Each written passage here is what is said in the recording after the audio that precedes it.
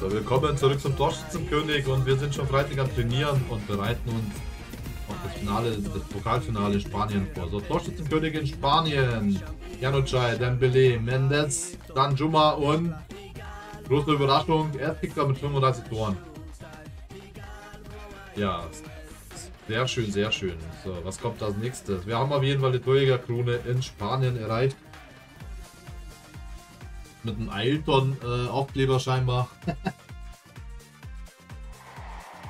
Fußballer des Jahres in Spanien. Wir waren ja nur ein halbes Jahr dabei, muss man dazu sagen. Ne?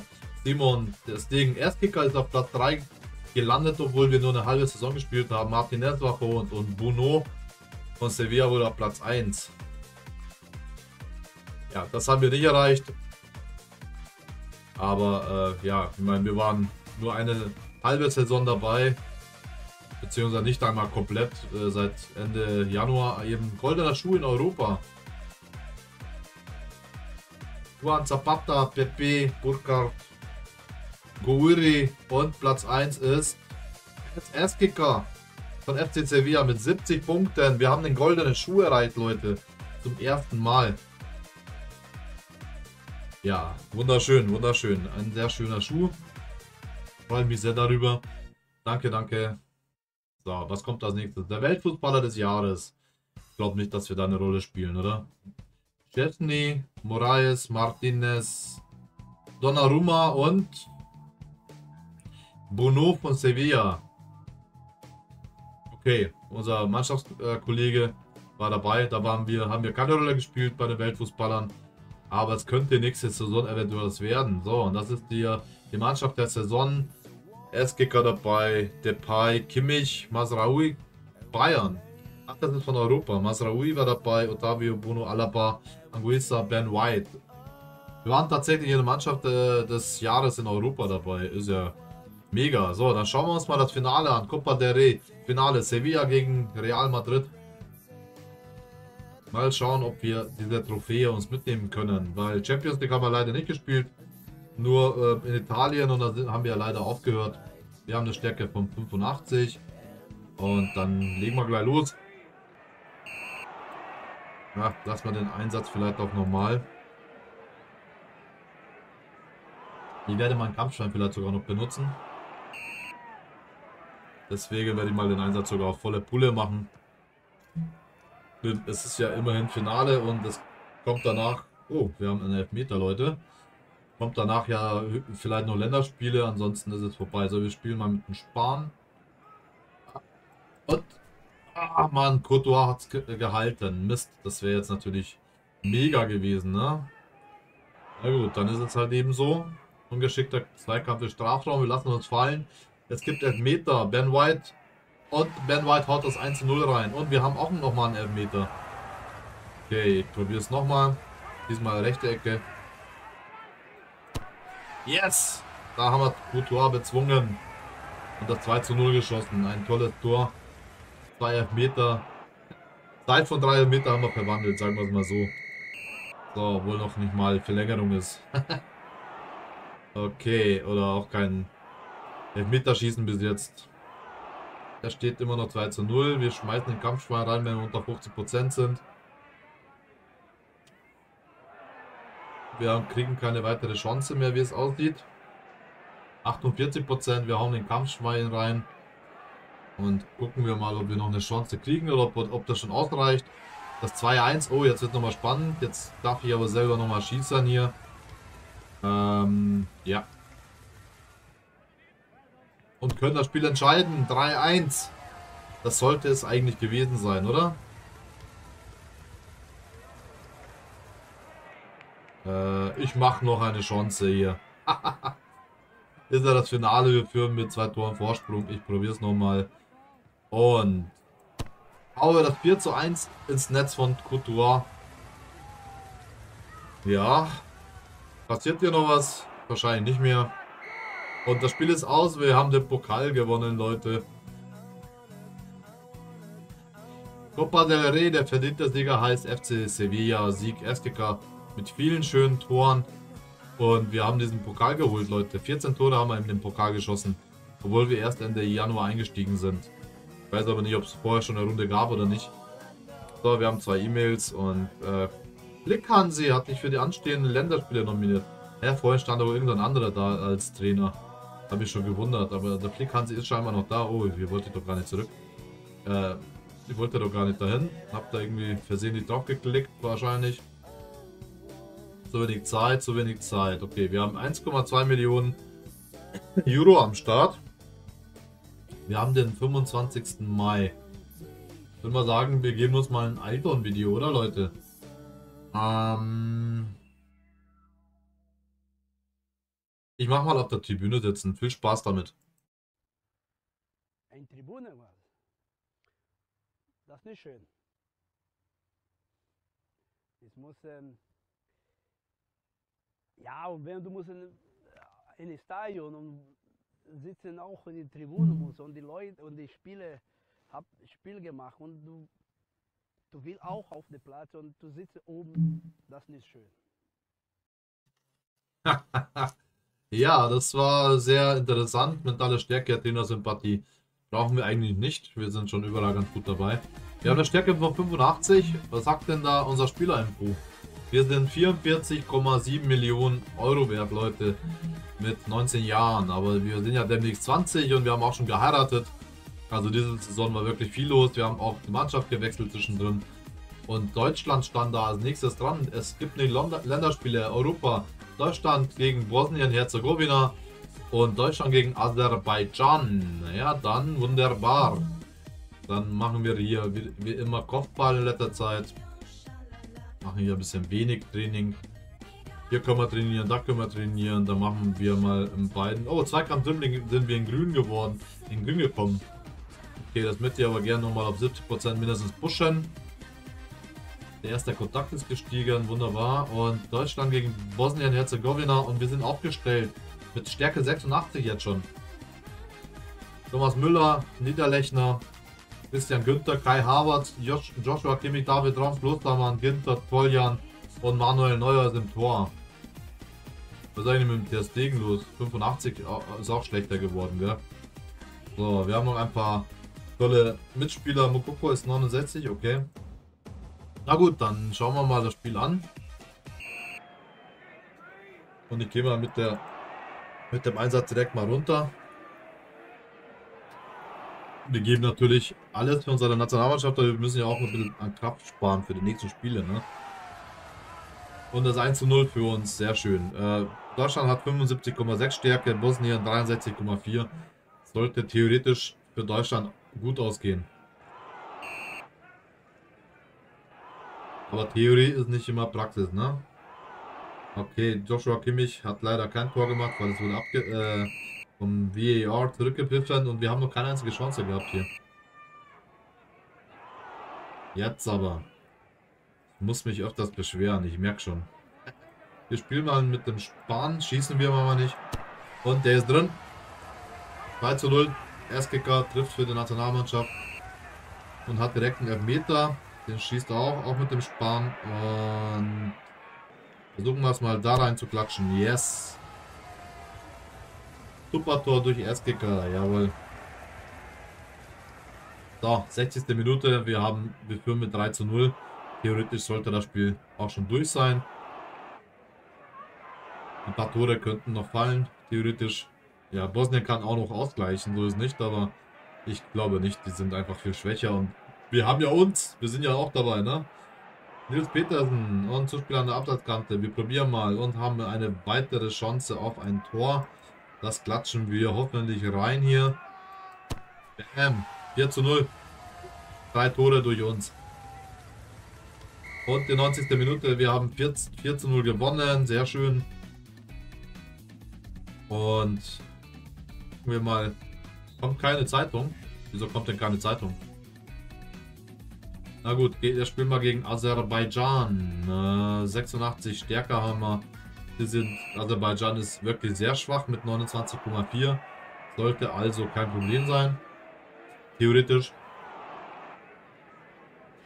Ja, und schon gehen sie in Führung.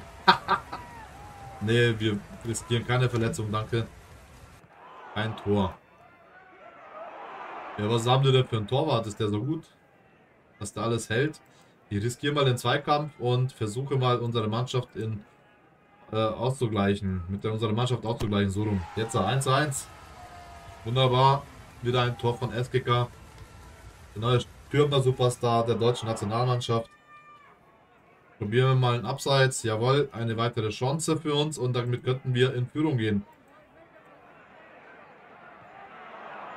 Ich meine, der Torwart hat wirklich super schlechte Werte. Und wir haben das 2 zu 1 geschossen, Leute. Ja. okay, ein bisschen Freude muss auch sein. Da kam es ein bisschen spät, aber besser spät als nie. So, wir schießen wieder selbst und versuchen das 3 zu 1 reinzuklatschen. Bam! Drin ist er. 3 zu 1. Jetzt, Baby. Drei Tore wieder durch uns. Unglaublich, aber wahr. Ist ein Hattrick wieder geworden. War kein lupenreiner Hattrick, weil das erste Tor haben wir in der ersten Halbzeit, glaube ich, geschossen. Ne? Aber trotzdem freue ich mich natürlich sehr darüber. Und das 4 zu 1 sogar durch Kai Havertz. Wunderbar. Somit haben wir auch dieses Spiel wahrscheinlich gewonnen. Und das 5 zu 1 sogar durch Luca Waldschmidt. Und jetzt soll gewechselt werden, aber wir bleiben im Spiel. Wir haben ja noch genug Power. Wir haben ja Gott sei Dank die Frische immer gehalten, die ganze Saison über. Und wir haben damit 5 zu 1 gewonnen. So. Okay. Es gibt aber keine Zeitung, komischerweise. Weiß nicht, äh, Länderspiele Europa sind das. Was sind das für Länderspiele bitte hier? Ähm, gucken wir mal kurz hier rein. Das ist alles wunderbar. Und wenn wir hier auf die deutsche Nationalmannschaft klicken, dann sehen wir, dass am 5. Juni die Weltmeisterschaft losgeht. Das heißt, ja, nächste Woche, oder? Seht das richtig? Weltmeisterschaft, Vorrunde Brasilien gegen Deutschland. Oh mein Gott, was haben wir da für eine Gruppe erwischt? Das schauen wir uns gleich nochmal an. Sorry Leute, das muss, muss, muss ich mir schon anschauen hier. Äh, Tabellen. Japan, Saudi-Arabien, Papua-Neuguinea, Bosnien, Argentinien, Portugal, eine eigene Gruppe, England und Schweden. Belgien, Kroatien, Italien, Kolumbien, Nigeria, Schweiz, Spanien. Hier, Brasilien, Salomonen und Niederlande. Uiuiui. Holland und Brasilien und wir in einer Gruppe. Das ist aber nicht gerade easy Gruppe, sagen wir es mal so. Ne? Haben wir schon eine harte Gruppe erwischt. Dann trainieren wir mal Kopfball weiter. Und die Wochenplanung machen wir mal wenig. Und machen wir mal hier, was brauche ich denn noch? Zweikampf, Dribbling wollte ich noch auf 70% bringen. Dann machen wir mal hier zweimal Zweikampf. Und da wir eine neue äh, Woche haben, machen wir auch nochmal Freistoß und 11 Meter. Und dann spielen wir das Spiel gegen Brasilien. Brasil! Naja, Ballerwartungshaltung ist gestiegen um zwei Punkte und Freistöße auch. Sehr schön. So, wir haben jetzt was. Ja, ja, okay, okay. Alles cool. Mach ruhig, jetzt wird der Kampfschwein wieder aufgefüllt. Zweikampf Dribbling ist um eins gestiegen und wir spielen gegen Brasilien, Leute. Drückt uns die Daumen. Stürmer, Star, Erzkicker, mit Harvards dahinter und Müller, Günther, Kimmich, Koljan, Lüdiger, Klostermann, Ginter, David Raum und Neuer. Das ist die Startelf gegen Brasilien, die stärker ist als Deutschland. Ja, dann schauen wir mal. Chance auf den Konter. Ich gehe mal auf Nummer sicher. Es ist jetzt noch kein Finale oder sowas. Und wir haben eine Chance. Wir schießen mit dem Span. Und drin ist er gegen Ederson Moraes haben wir das 1 zu 0 in der Weltmeisterschaft geschossen, Leute. Sehr geil, sehr geil. So, ungeschickter Zweikampf für Strafraum. Lässt sich nicht fallen. Jetzt kommt ein Kopfball. Jetzt haben wir Stärke 74.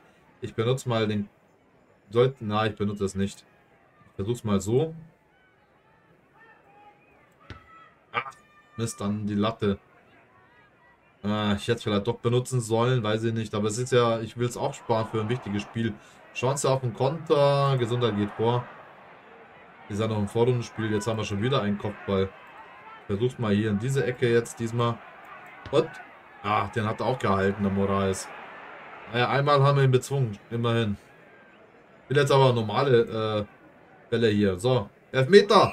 Wir haben einen Elfmeter rausgeholt. Rüdiger schießt das 0 zu 2. Super.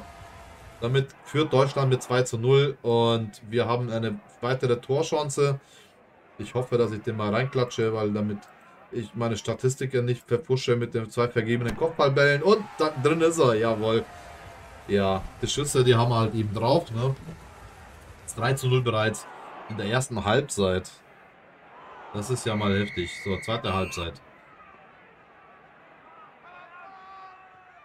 Hm, bis jetzt passiert noch nicht so viel. Aber wir haben eine komfortable Führung. Ich hoffe, dass wir jetzt da nicht so viel Tore fangen. Einfach ein bisschen ja, defensiver spielen. Dann äh, sollte das klappen hier mit den drei Punkten. Bereits jetzt 73. Minute. Und nur noch 10 Minuten, Leute. Das Spiel haben wir gewonnen. Gehen wir sehr stark davon aus. Und ja, da schießen wir sogar das 14 durch Timo Werner. Und ich habe sogar eine Chance auf ein, weiteres äh, Tor. Und das versuche ich auch gleich mal. Bam! Das 5 zu 0 für Deutschland, ausw also auswärts, ja. Also bei der Weltmeisterschaft, sagen wir es mal so. ja, sehr schön, sehr schön. So kann es laufen. Und ich glaube, jetzt gibt es sogar, ja genau, Sieg, Erstkicker mit vielen schönen Toren. Deutschland gegen Brasilien endet 5 zu 0 und wir sehen hier, die Gruppe Niederlande hat auch gewonnen. Salomonen haben verloren und Brasilien auch. Und wir sind hier dabei. Und bei der Torjägerkrone sind wir sowieso dabei. Neuer ist noch dabei, Rüdiger und sonst niemand von Deutschland. Aber das war ja wirklich sehr schön. Und dann schauen wir mal nächste Woche, wie schaut es denn da aus? Spieler 1 bereit. Wir spielen gegen Holland und gegen die Salomonen. Gucken wir noch mal kurz. Hier gibt es nämlich ein ähm, ein E-Mail. Sehr schön. Und ja, ich würde mal sagen, wir spielen das nächste Spiel gegen Holland gleich mal in dieser Folge noch zu Ende und vielleicht auch gegen Salomonen. Dann gehe ich jetzt ein bisschen Gas, dass wir das noch schnell durchkriegen. Damit wir nicht zu lange Zeit verlieren. Was wollte ich machen hier? Genau, Zweikampf, Zweikampf. Das machen wir noch schnell. Und dann schauen wir mal das Spiel gegen Holland an. Erster Kontakt ist gestiegen, sehr schön. Und Zweikampf-Dribbling auch. Wunderbar, wir steigen uns immer mehr und wir spielen gegen Holland. Ich habe eine Stärke von 87 bereits. Unglaublich, wie stark wir uns in dieser Saison ver äh, verbessert haben. Ne? Chance auf den Konter, nee. Hiro Sané, ach Mist. Hat er nicht getroffen leider. Und wir haben jetzt hier die Chance gegen Mark Flecken, der Torwart der Niederländer. Bam, drin ist er. Das erste Tor gegen Holland 0 zu 1 oder gegen Niederlande. Sollte man eigentlich immer so aussprechen. So, Kimmich, jawohl. Durch Kimmich gehen wir 2 zu 0 in Führung. Und was kommt jetzt? Hm, Zweikampf von Müller. Ah, Mist. Wieder ein Möglichkeit auf den Elfmeter. Aber der Schiedsrichter hat es durchschaut. Ich schieße mal selbst einen Außenriss. Und wow, was für ein Freistoß. Wunderbar, drin ist er. Das 3 zu 0 für Deutschland und das zweite Tor für uns bereits. Ein sehr schön, sehr schöne erste Halbzeit. Kann man sich kaum besser wünschen. Vor allem haben wir jetzt die zwei größten Gegner ja hinter uns gehabt. Ich hoffe, dass wir gegen Salomon trotzdem gewinnen. Weil immer, wenn ich das sage, dann verkacken wir gegen so schwache Mannschaften. Ich kenne das schon von mir. Oder von unseren Mannschaften, wo wir die letzten Jahre so gespielt haben. Ne? Aber wir werden gleich sehen. So. Das 0 zu 3 steht, steht nach wie vor. Und wir nähern uns dem Spielende, Leute. Eine Viertelstunde noch. Hiro Sani trifft leider nicht. Wir haben auch keine weitere Chancen mehr bis jetzt gekriegt. Aber jetzt haben wir die Chance, Zeitspielmöglichkeit und S-Kicker schirmt den Ball gut ab und gewinnt wertvolle Zeit. Und wir haben das Spiel 3-0 gewonnen. Sehr schön. Damit sollten wir eigentlich schon durch sein. Drei Spiele, Tordifferenz 8, Punkte 6. Und Brasilien ist auf Platz 2 sogar gleich mit Niederlande auf. Und wir sind wieder dabei mit Joshua Kimmich bei der Hälfte des Spieltages. Und ich würde mal sagen, ich zeige euch auch nochmal schnell die, äh, das Spiel gegen die Salomonen. Da bin ich mal gespannt, wie stark die eigentlich sind. 26. ah, okay, aber ich lache jetzt mal nicht, weil gegen solche Mannschaften haben wir auch schon verloren. Ne? Wir haben 77,2, die Salomonen haben 25,7 und die haben ein sehr interessantes Trikot. So, deutsche Nationalmannschaft, Ende der 90er, so ein bisschen das Grün. Und das 0 zu 1, Entschuldigung, das 1 zu 0 für uns. Darum. Zeta Louis vereitelt die Torchance. Okay, Thomas Müller hat nochmal versucht und wir haben die nächste Chance, Leute. Äh, ich schieße mal mit dem Spann. Und zwar hier rein und drin ist er. Das 2 zu 0 durch Erzkicker. Und wir haben eine sehr gute Chance, alle drei Spiele der ähm, Vorrunde zu gewinnen. Willst du das Risiko eingehen? Nee, auf keinen Fall. Dann können wir auf das Achtelfinale oder sowas nicht spielen, weil ich mich verletze oder so. Nee, nee, nee, das machen wir nicht. Oder ich falle sogar noch länger aus.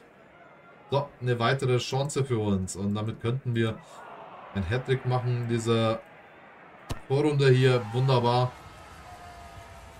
Das dritte Tor. Und Eskicker hat schon wieder ein Hattrick gemacht.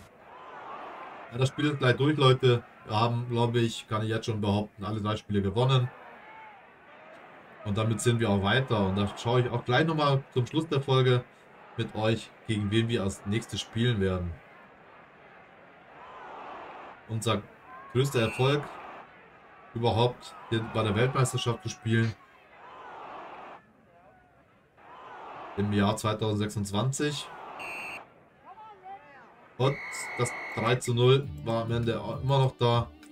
Und wir schauen in die Zeitung. SGK hatte mit drei Toren großen Anteil am Sieg. Ja, wenn wir 3 zu 0 gewonnen haben, habe ich den, äh, den äh, einzigen Anteil am Sieg. Naja gut, wir spielen gegen Kroatien scheinbar.